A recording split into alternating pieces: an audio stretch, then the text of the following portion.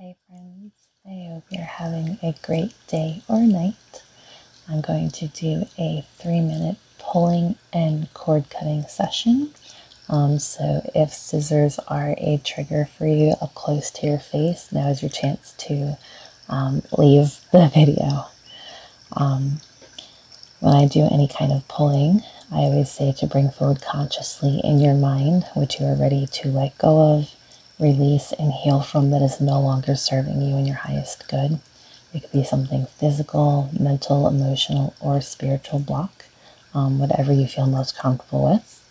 When it comes to cutting cords, I'm only ever able to cut cords that you are ready to release and let go of and heal from. Nothing that you would never want to let go of or release would ever be cut. I always set the intention to do this in your highest good and which you are ready to heal. So try to relax your brow bone, unclench your jaw, relax your shoulders, take deep breaths in through the nose and out through the mouth. If you can comfortably close your eyes, do so now.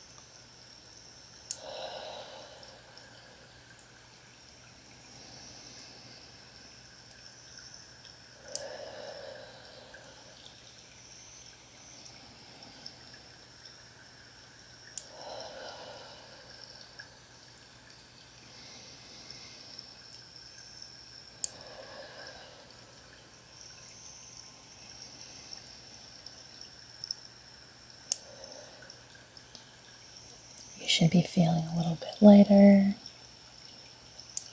like a weight is almost lifted off your shoulders.